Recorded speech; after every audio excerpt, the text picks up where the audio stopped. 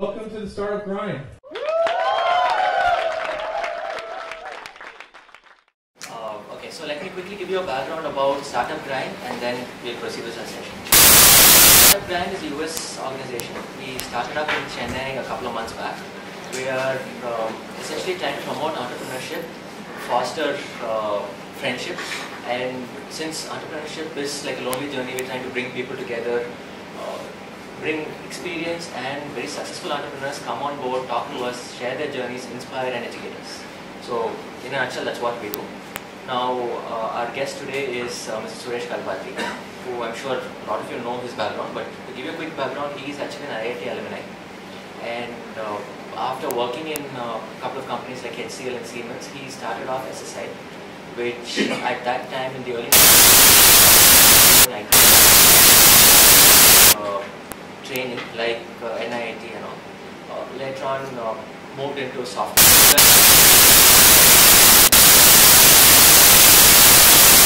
He acquired Aptech at one point, and uh, I think at the end of the whole thing, uh, was two, in two different different divisions, and uh, over a thousand crores. And uh, now. Suresh is heading Kalpathi Investments, which is a capital firm, as well as AGS Entertainment, which I'm sure all of you have heard of. So, thank you, Suresh, for joining us. Thank you. Uh, so the format is essentially more of a Q&A session, very interactive. So I'll just start off and take it from there. So essentially, I just wanted to start off with you know where you started your journey. You know what is your background in terms of where you come from, your not your education, but more in terms of your family background and how that drove you to entrepreneurship, or if it did.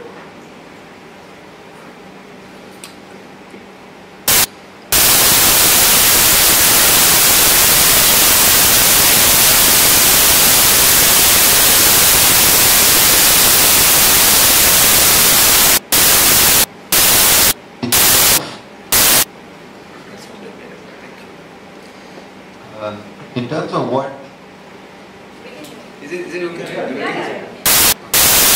um, just to talk about my education background and sort of to ensure that at the beginning to go where you want to go. Um, I'm one of uh, seven kids born into a fairly humble family. My father used to uh, work in Southern Railways in Chennai. Uh, from days I remember, to earn about 55 rupees a month. Kids at home. I was the first person in my for engineering. Um, all done BSc, BCom and so when I studied, it was my school which actually told me that there was something called engineering. Otherwise, I didn't know about it. Uh, I didn't know about IIT from where I subsequently graduated in 1982. It was again thanks to my school and friends that I had who actually filled up forms and on inquiry I understood it was for I didn't know their branches. Fast forwarding. So it does not take a lot to reach where you want to go. The beginnings are not so critical. As far as you have ambition and your goals. Uh, from a family perspective, uh, though a lot of people know me, it was actually with two of my brothers that I started. Uh, SSI worked in few places before I started the company. Um, so from a family perspective, Sri Ram, prominent for started working in the US year 1991. Started SSI. It was actually January 1st. So coming from this background, what got you into entrepreneurship? What drove you to leave your possibly cushy job at HCL or Siemens to jump into? Um, sometimes is an advantage. Um, So when coming back in 1990, I came back in June, uh, July. Uh, had 20,000 rupees. That's pretty much all I had. I Worked in the US for three, four years. Uh, for some of you might, might have gone there or had friends who had gone there. You know, you are a bachelor, three, four kids running around town, so you blow your money, you see everything. So came back pretty much with nothing. Uh, but more importantly, had significant confidence that I knew things to earn my way through. Uh, that when you jump into something, you pretty much got nothing to lose. So, if you have already reached a significant position, then you got a lot of things to lose. But if you know that all that you got to lose is 20,000 rupees, then you can afford to take a whole lot of risks. Um, and for uh, entrepreneurship, those things are very critical. Uh, you need to be able to take risks, and you need to have confidence that that you can get back on if something should fail. So, mean, what is it that when you were doing, let's say, you were working in the US, so what made you decide, okay, entrepreneurship is what I want to do? Uh, in the sense, you took a plunge, you said, I'm going to start a software company in India. What made you decide, okay, software, what made you decide training? Um, unlike what it is today, um, in uh, early 1990, 91, uh, especially in technology, uh, obviously we didn't have the web. Uh, the internet was unheard of. So the gap between what was happening in the US or probably even most of Europe and India was very significant. The gulf was huge. Um, I had a chance to work in a company called Sybase, in the US.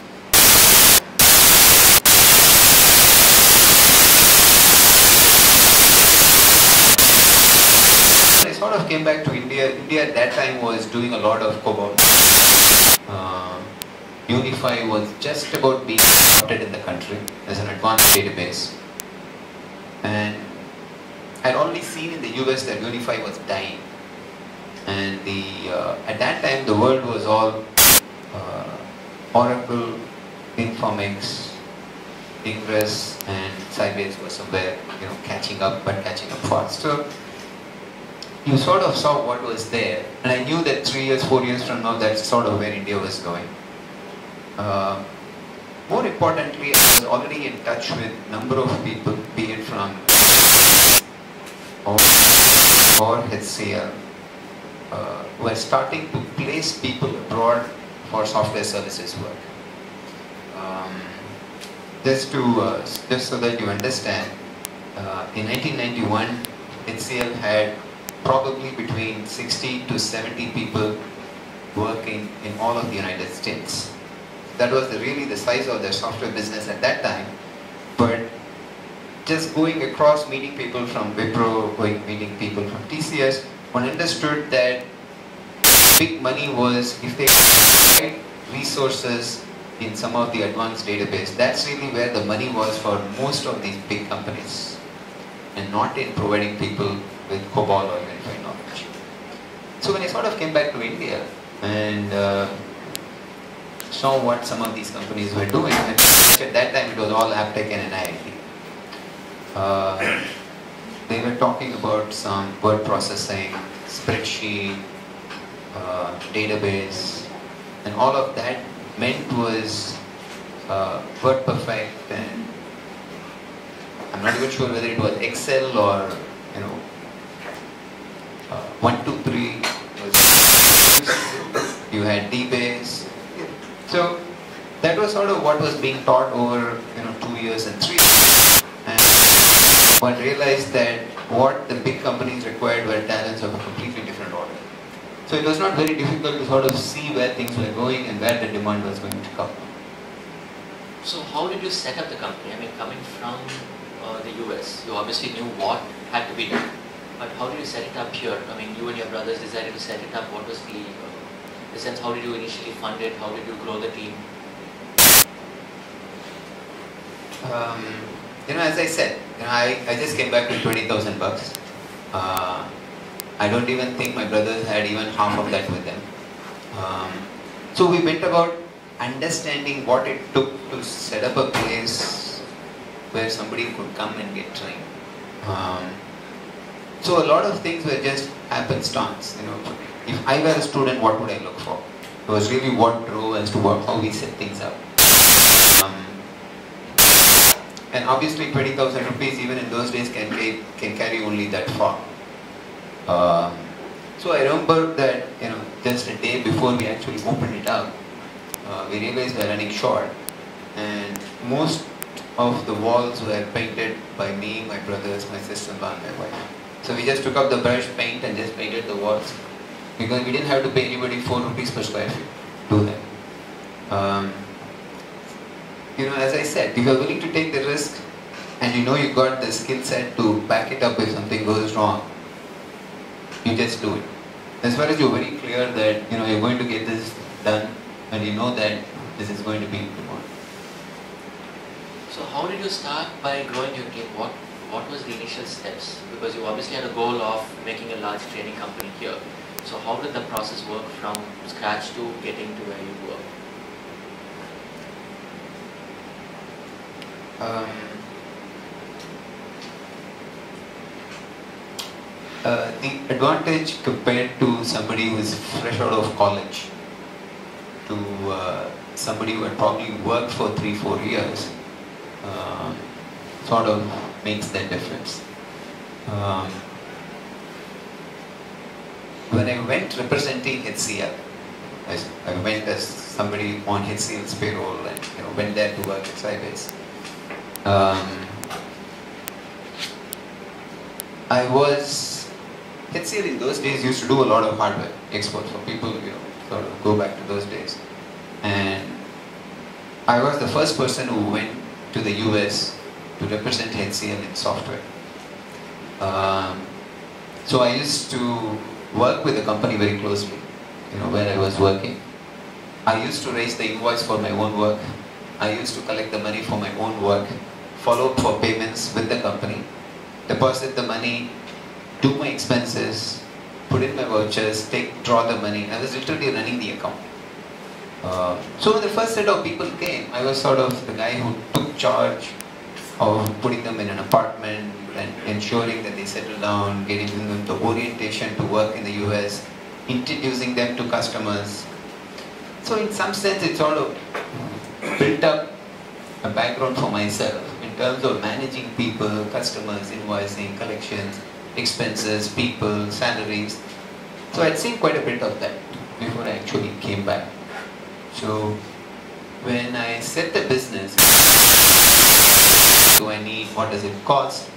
And you know, sort of put the numbers. Um, so, uh, so it wasn't that difficult. And from growing from, I think, scratch to uh, a global company, because I remember reading that you had also acquired a company in the US for a substantial amount. How did that happen? Because I think that happened over a period of five or eight years.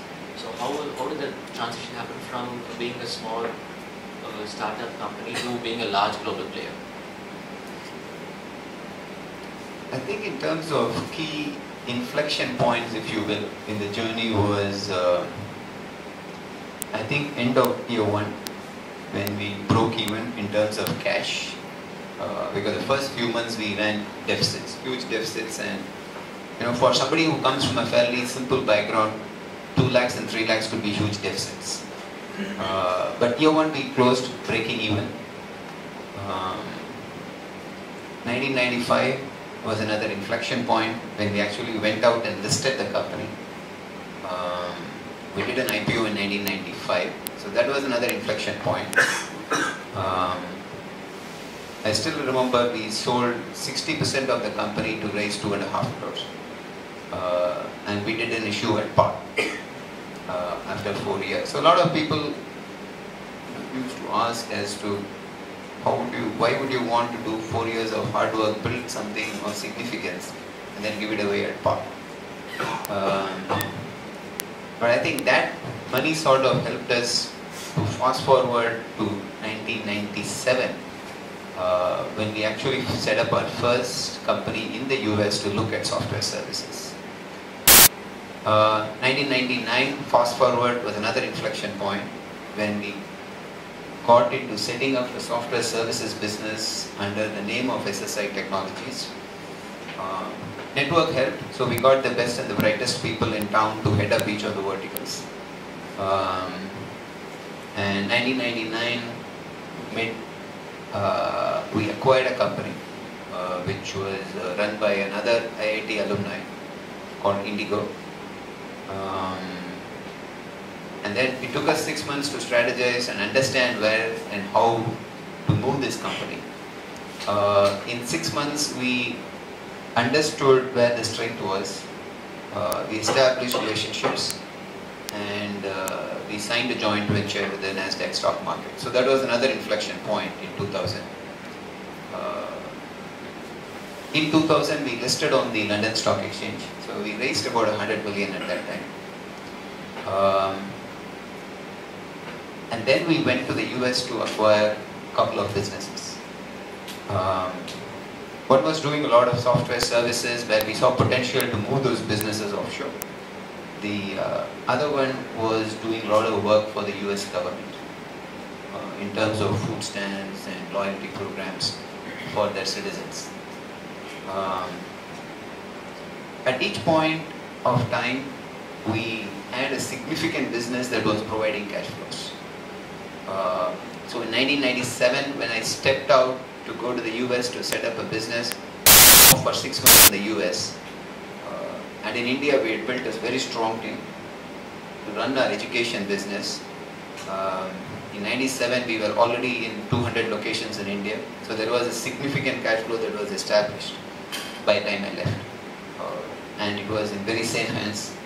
I had a great guy from ex-Wipro, who was my chief operating officer, uh, running the entire business. So I could go spend six months, establish the business in the US, set up the office, get people, create the first set of revenues, ensure it broke even, and then came back.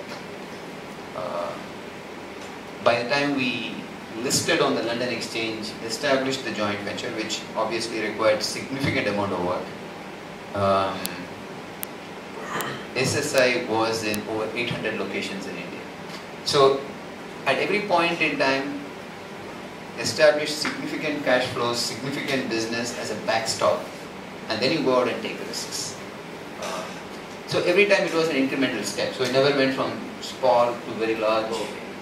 Uh, it took close to 12, 15 years. So what made you hive off the um, education arm of SSI? Because you hived that off, then you hived off the software, then got into real estate. So what made you go through these uh, different sectors? Uh, for people 2000 uh, 2000 was the first wave as far as the technology business was concerned it went through a big high and then it dropped as though there was no bottom so that was the tech bubble that one saw happening in 2000 march and by 2000 september october it was very deep uh, by the time we hit 9-11 in 2001, uh, that was pretty much the last straw that broke the camel's back. Uh, for people who follow the stock market, the Nifty index, which is today about 6,200, hit 970 in 2001. It completely fell. Uh, a lot of stock lost everything. Uh, stock like Infosys compared to the March 2000 high lost 90% of value. Forget other companies. So a lot of big companies lost significantly in the bubble that burst. Obviously it meant when the lag between services to education at that time was about six, six and a half months. Which means if there is a slowdown in the services business, which means they start going slow on hiring, um, in about four, five months you will find that the placement starts lagging. And then it becomes a drag which essentially means that people don't think it's a great prospect to be educated. So by 2002 we realized that education was going through a slow we didn't think the software services was business was again going to jump back real quick, uh, which means big companies stopped recruiting. Uh, some of them started getting people off their roles. They were terminating people. Engagements from a customer, a lot of engagements were being put on hold uh, or being terminated. Um, so at that time, uh, so just you folks within the room, we established contact with both NIIT and Aptech. So we announced Aptech. We were talking to both of them. So on one side we were talking to Pawar and Thadani of NIIT and we used to meet in neutral locations where both of us would fly, we would fly to Bangalore, they would fly from Delhi, we'll meet in Bangalore. Parallelly we were meeting Atul of Aptech. And our proposal was fairly simple, that, that there was no place for three companies in India, given the slowdown that was happening. All three of us were getting hurt. Uh, we felt there was place for maybe two, ideally one company. There was no place for three. So our proposal to both companies was that we are willing to acquire you. You've required both. Uh, we can pay cash, we can pay by stock, and if they're not willing to sell, we were more than happy to sell for stock or for cash. Because our view was that the business environment was such there was no place for three. It doesn't matter who ran those businesses, but there was no place for three. Um, for whatever reason, with NIIT, we went through a lot of diligence on both sides, but we just could not complete it uh, because I don't think the people who sat with us for the meeting owned a substantial part of the company. Whereas from our side, we owned close to 70%. So we could decide to do whatever and ensure that it got passed, but they were not so sure. So it dragged for a year, nothing happened. Uh, with Atul, it was a lot faster. Uh, and he was very clear that he was selling. In the sense that he understood it was slowing down. Uh, it was very clear that he had, you his daughters were studying in the US and his education business was India, his services business was in the US and he couldn't keep shutting. So we did an agreement with uh, to buy them out. Uh, but more because that was demanded by the environment and the slowdown that was happening. So it was not as though it was more, it was not so much strategic, but by a demand of the environment. Uh, once we decided to acquire Aptech, we also decided to separate the education and the services business.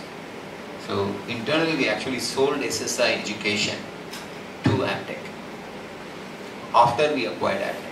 So the first step we acquired Aptech, made an open offer, took control, and then on this side we sold SSI education, merged it with Aptech. So separated the education business into Aptech and the services business stayed with SSI. After which you hived off the Aptech itself to a third investor, if I'm not wrong. Subsequently we sold um, and I think a lot of that was triggered by uh, my own reasons to sort of step away from operating businesses. Uh, my kids were growing up. While all of this were happening, I got married, got kids. Um, so they were growing up, and here I was traveling quite a bit. I mean, at some point, I was almost doing 22 days of travel in a month. Uh, and often I would find myself waking up in a hotel, maybe in New York or you know, Amsterdam, and wondering where I was at 3, 4 in the morning. So sort of decided that I needed to cut back, spend more time with kids, all growing up. Um, so at some point we decided that we will quite but clinically get out of operating businesses in a fashion. Uh, so the first step was we sold Aptech uh, to an investor group driven by Rakesh out of. He continues to run it. Um, the services business we merged into a company uh, called Scandent in Bangalore. Um, and uh, SSI Limited, when it was finally sold in 2007 December, that's when we sold it.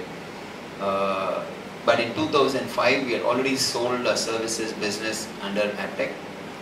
We had demerged our services business and merged it into Scandent. And in 2006, early SSI Limited was actually a shell company with no businesses, all sold. Um, so we brought in some of the properties that we had bought into SSI, made an open offer, acquired 75% of the company. Um, and in 2007 December we sold SSI Limited, which at that time was actually a property development business. Nothing to do with education, nothing to do with services. It was actually a property development business which we finally sold in 2007 December. And uh, I mean, after that, you decided to take a step back, and then now you're back on board with AGS with Kalpathi Investments. What got you to get back to the entrepreneur? Um, I think this journey is a lot different from the earlier one. The earlier one was very frenetic, um, fast-paced, very involved. Um, Post 2007, uh, Kalpathi Investments was established to look at private equity investments, very early stage seed investment uh, in various companies in sectors that we had identified. Uh, AGS Entertainment was pretty much an happenstance. Uh, I think somewhere in 2008, we had sort of really, I wouldn't say we took a step back, we took hundreds of step back. Uh, so literally cooling our feet, pretty much doing nothing. Um, and in 2008, as all of you are aware, the, the technology went through a second hump. And uh, a sunrise business like uh, property development, all of that really took a nosedive. Uh, so 2008, January, the stock market again tumbled deep. Uh, we had the Merrill Lynches of the world failing, we had the Lehman Brothers of the world failing, uh, and the markets went down. We sort of sensed it when we sold out in 2007, uh, December. Um, so I remember 2008, last quarter, somebody came by the office and said, you know, we're doing this movie, can you finance it? So before we actually produced the movie, we, we had financed a couple of movies without putting our name there, just to understand how this thing worked. Not so much as a business, but more for fun. Um, two weeks ago, we put for our 20th movie. In 2008, fast forward five years, we never thought that this was going to be something we'll be significantly involved in. Uh, but there it is. You know. I think still the enjoyment quotient is 50% uh, because if it goes below that, then you know we wouldn't be there. Uh, so it's a lot of fun, but uh, it, it's got its own returns. So we're also making some money out of it. Otherwise, you know, we just wouldn't do it for charity. Um, we also have an exhibition business uh, where we have screens under the name of AGS Cinemas. Uh, we are setting up some more. I think two more properties are being developed, uh, which adds another 10 screens to what we have. Um, and that sort of, I have a niece who went and studied in the US. She's from Anna University. She went abroad, did her MS in SUNY Buffalo, came back, computer science and wanted to do a whole lot of things in software. And he said, you know what, he just bought a property, why don't you develop it as a theatre? So she, she slogged and you know she had to do something. So she slogged, built it up, she liked what she was doing. So we went out and bought something on OMR.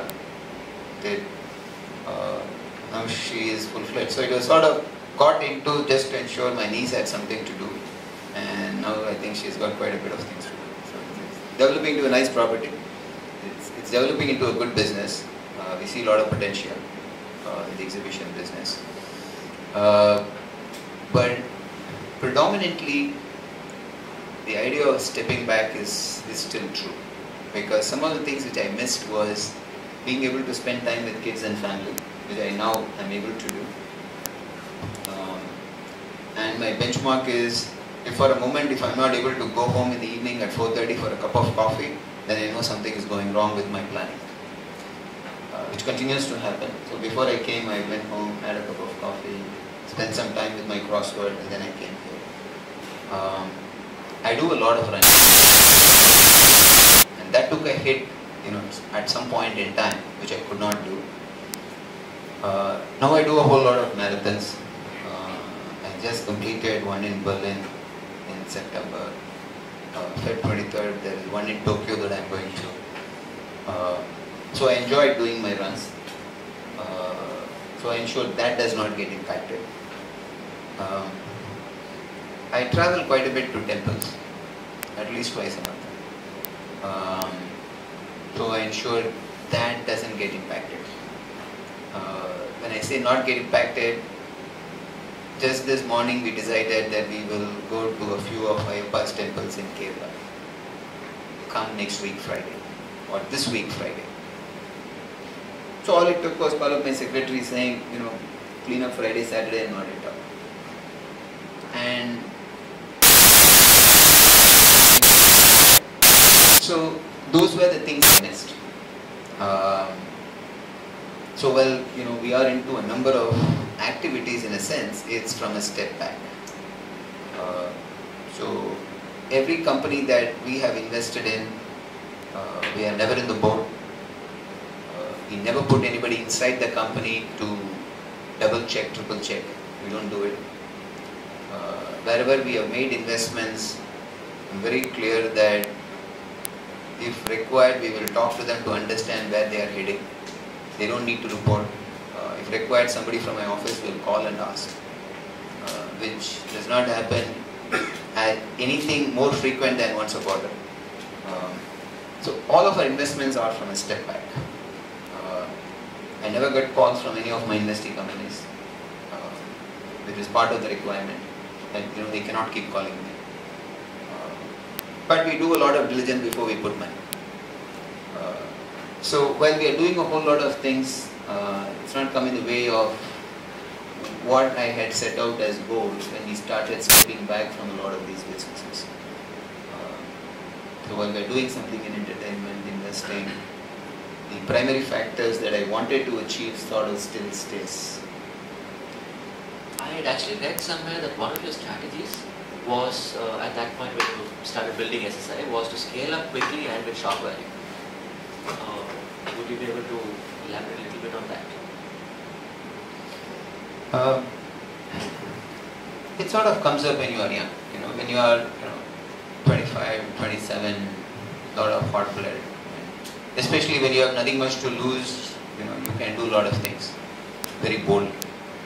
Uh, because in those days I still remember, you know, when we started out, Aptech and NIIT were already established players. It's not that they were startups. They were already established players. Not many people thought there was a business opportunity in, in taking them head on, uh, which we did.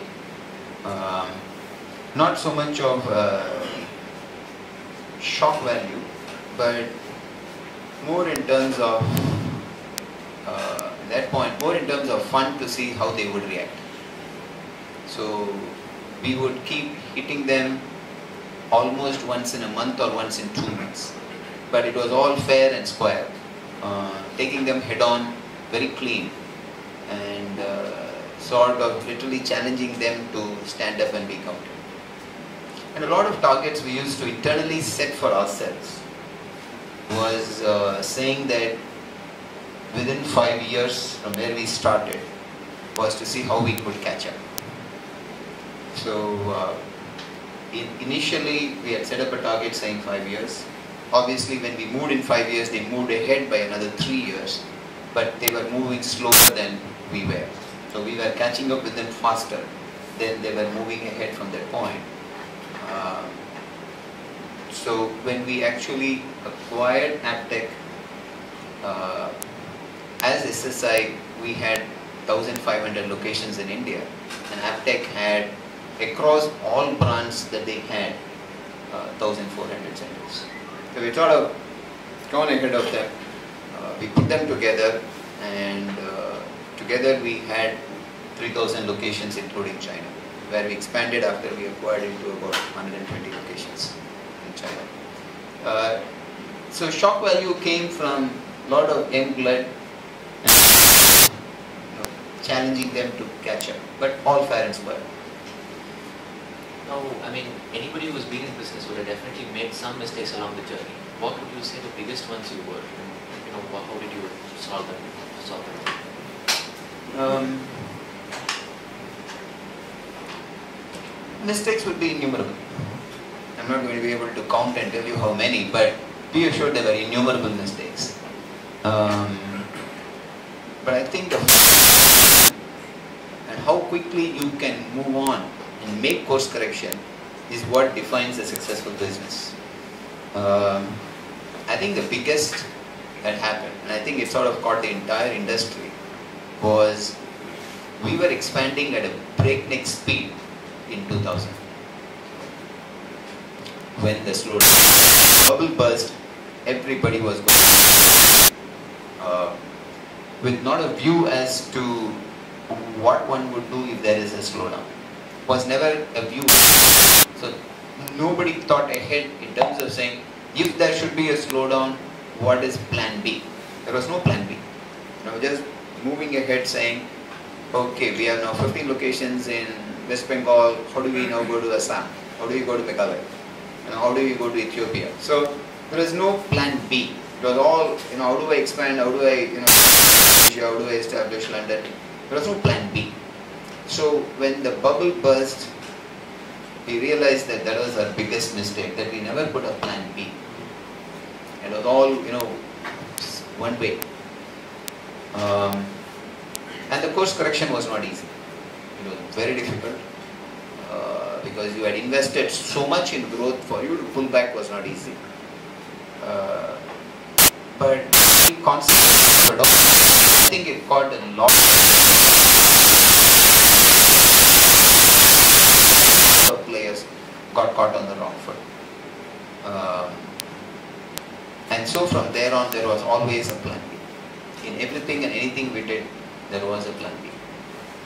Um, which essentially means that even when we do investing, there is always a plan B. When we go into anything, there is always a plan B. So what happens if something slows down tomorrow so dramatically? Uh, which means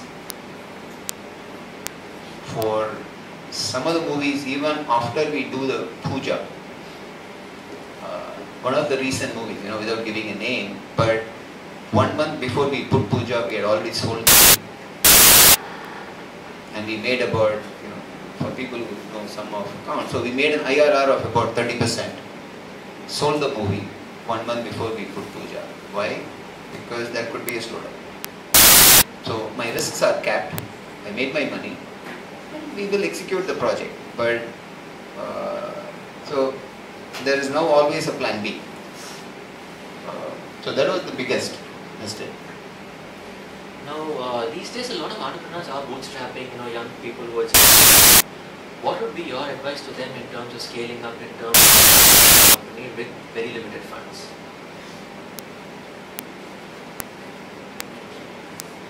Um, I think the biggest challenge is to leave the comfort of your job in corporate with a very clear vision. You know how much you achieve, uh, how much of the money you not raise, but just the fact of making the decisions, in business. Uh, take it from me, you're 50% already there by just taking the decision to come out of your comfort zone saying i am going to go here. This is what this is my plan. This is where i'm going and this is the team i'm going to work with to make it happen. I check my job. I'm here. I'm looking forward. That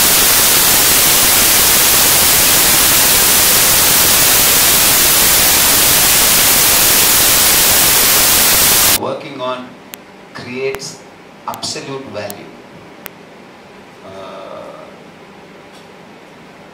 that's another 25%.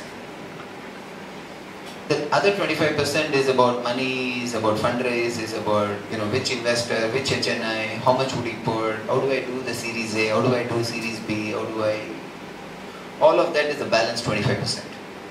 Uh, as far as you know that you are creating value in whatever that you are doing, is most critical. Uh, and to just give examples, uh, at the time when the bubble burst, people thought the big thing was eyeballs. Uh, that didn't take many people many places. Uh, it was sort of a fad up in the air, you know, it looked good, and when the chips were down, you know, some of them today would look back at saying that how the heck did the world invest in businesses like this? But you know, people invested. I mean, AOL had a market cap to actually buy out Time Warner. I mean, valuation so far ahead of themselves. Uh, because people didn't look at were they creating absolute value. People thought eyeballs was value, but eyeballs is never value. For whom is that value? So as far as you know that you are doing something that creates absolute value, be it a product, be it an app, be it a service, you know, it doesn't matter. But as far as it creates absolute value and you have a plain plan to build this to scale. Uh, you an example. Uh, there is somebody that I know and uh, he runs along with me for quite a few years. So he was working in a nice job, chucked his job, not that he has built it big, but I know he's sort of heading in the right direction. So his view was that today a lot of people as they start owning apartments, houses, you know, whatever, uh, they have a lot of tasks for which they are willing to pay but not able to get a service. It could be a plumber who needs to come home to fix a faucet that's leaking overnight, but he just don't know where to go. You, you know that you need it. And if somebody should say it will cost you 500 bucks, a lot of people are willing to pay. They just don't know who to approach, how to get this done. Or somebody who's got to set up the electrical line so that I can put an extra TV here, I'm willing to pay. Obviously, I don't know how to do it myself. I'm not going to break the wall. I don't know how to set up a jumper. I don't know. I'm willing to pay. Uh, I'm trying to see if I can get a cook. I'm trying to get a driver. I'm willing to pay. Uh, so this guy set up a business just to provide this to people. Uh, today is doing 12 crores. He makes 2 crores of profit. Uh, right here in Chennai. Started 5 years ago. Built it to scale. Uh, he's going to get his next round of investment. He's looking at setting up similar businesses in other parts of India and wants to take it national. Uh, because he was very clear that he was adding value. Here is a pain point and now all you got to do is just call a single number, you say it, it happens. People are willing to pay because it solves a pain point. So as far as you are very clear that you are establishing something that creates absolute value, uh, this will all happen. You just have to be focused and have faith and conviction. It'll all happen. Uh, it might seem happenstance, you know. I know so many people on this day, if, if I had not met this guy, my life would have changed. And that made all the difference. Maybe it's true. And I've had so many people who had told me that, you know, out in Russia, I met this ambassador who gave me the opportunity for the first business, otherwise I would have folded up. Not necessarily true. Because if you have the conviction and drive, if you hadn't met that guy, one week later you would have met another guy and you would have told a different story saying, if I had not met this guy in Mylapore, I would have folded up. But you would have never folded up. And two weeks later you would have met this guy in Bombay who would have made the difference to you in your life. Because you're convinced, you're focused, and you're by the door waiting for somebody to knock. As far as you're able to do that, you will hear the knock, you'll open the door, you will make it. Uh, so the rest will all happen. Whether it happens in one year, one and a half years, it will all happen. Uh, so 50% is to get out of comfort zone. 25% having conviction that you are creating absolute value. The rest of 25% the balance of what makes the success. Thanks, and I think that's it from me. I'm going to open the floor for questions from the audience. Let's pass the mic after that.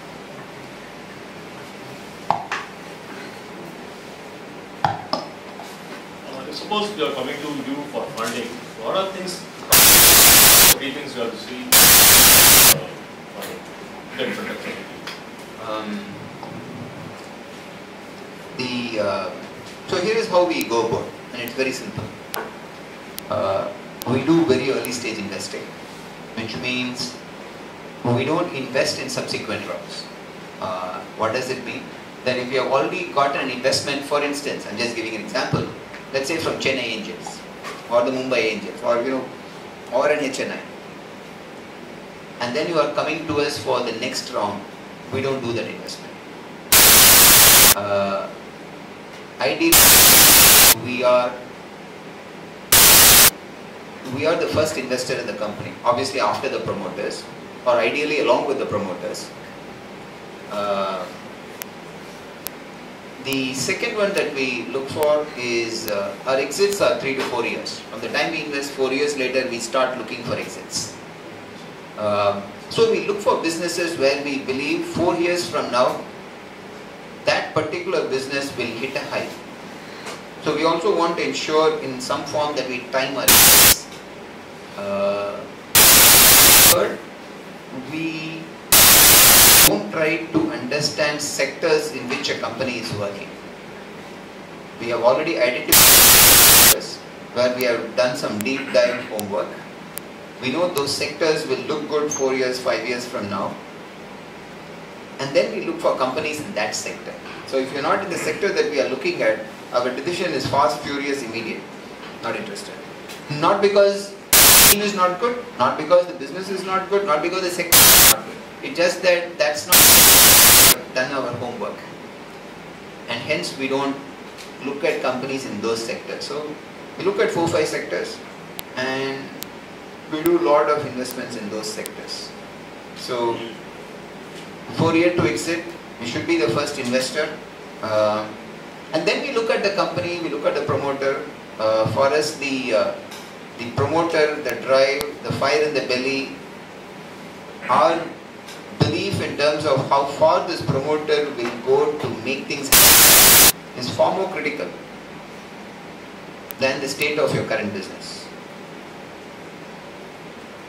Could you kindly list those sectors? Uh, um, technology is one. Uh, they're actually location agnostic in some sense. The last one we did was San Francisco, where we had invested. This was about a year and a half ago. Uh, this is, uh, they have a, a database, it's a product company, it's a database that sits in Flash. Uh, for uh, web scale data. So we are talking terabyte plus data processing.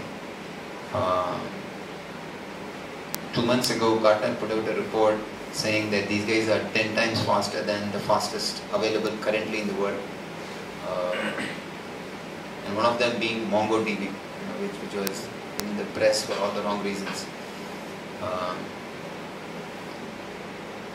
having said that, general investments, you know, apart from sector, in terms of geography, uh, I look for investments that I can make which are uh, in India, ideally Tamil Nadu, preferably Chennai. And if I can have my way 15 minutes from wherever. Uh, including this company in San Francisco where I uh, his uh, parents live in Anna Nagar. Uh, this guy studied with me at school. He studied with me at IIT too, so I know him for a long time. So in terms of character and integrity, I'm absolutely sure. Right sector. And uh, he keeps coming to Anna Nagar. His parents are still here. So the only reason is it just makes it easy. You know, I can very easily go and invest in a company in Ludhiana. Uh, it will take me six hours to reach Ludhiana, hopping two different flights. Uh, and the six hours is no value add to the company, no value add to me. So if it is close to where I live, it's just that much easy to do meetings or to go face to face and chat. It's that much easier. Uh, so sector wise, uh, technology is one. Uh, we are investing in some parts of education, not all of it, some parts of education. Uh, we are investing quite a bit in agriculture. Uh, not so much in trading, but actually growing things on the ground. Um, we are investing in seeds. We are investing in dairy. Um, investing in infrastructure, but from an execution perspective. Uh, we think uh, three, four years from now, uh, things would have turned around. Infrastructure is going to become big in India. So we're taking some calls. So we're making investments in that sector. Uh, valuations are rock bottom. So it's a great time to be there with conviction to start picking up stuff. Um, we uh, have been looking at again some facets of entertainment. Uh, we uh, also understand again some parts of microfinance very well. Uh, so those are sort of broadly sectors. Uh, we are looking at adding a couple of more. We are still doing our homework. It takes time for us to do the homework because my team size is two. So but it goes at that pace. But these are sectors where we are very clear, we move very quickly. We see an opportunity. So you say technology is information technology or technology? Uh, information technology. Uh, what is the quantum of investments that you are likely to make? Technology is?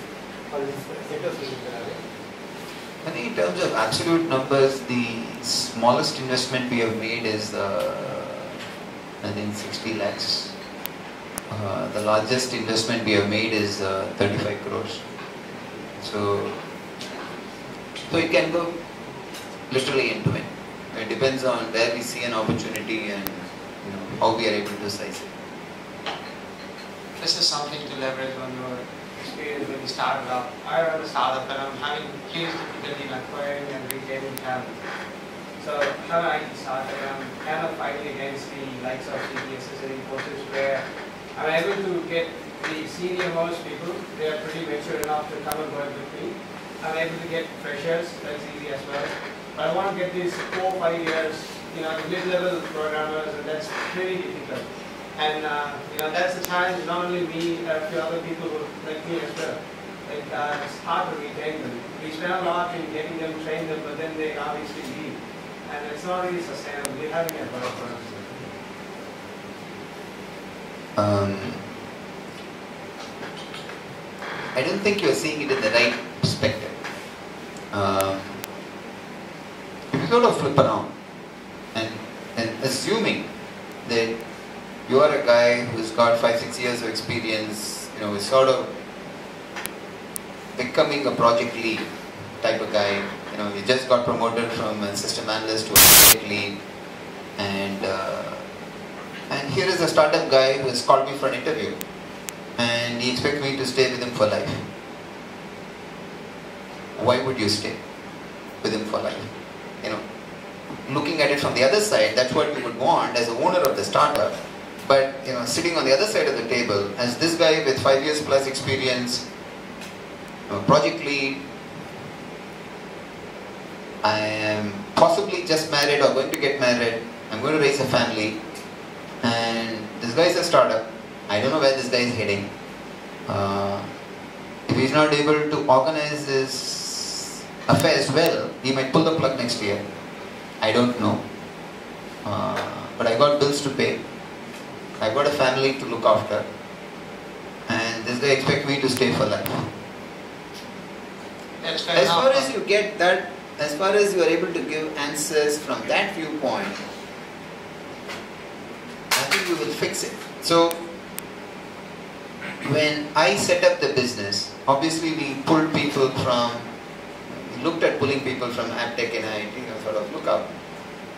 But another way to look at it is, rather than aspiring to those guys, you need to look at people who are sort of below you. pull people from there, but add enormous value to them, which means that every time they have a 10 minute chat with you, they need to go back saying, wow, I learned something today. Sometimes that might help you to retain people. Because what is in it for me? One, if I had gotten into a big company and lost, I'm one of the 68,242 people who are there in this company. Whereas here, I'm one of the 60 people in the company.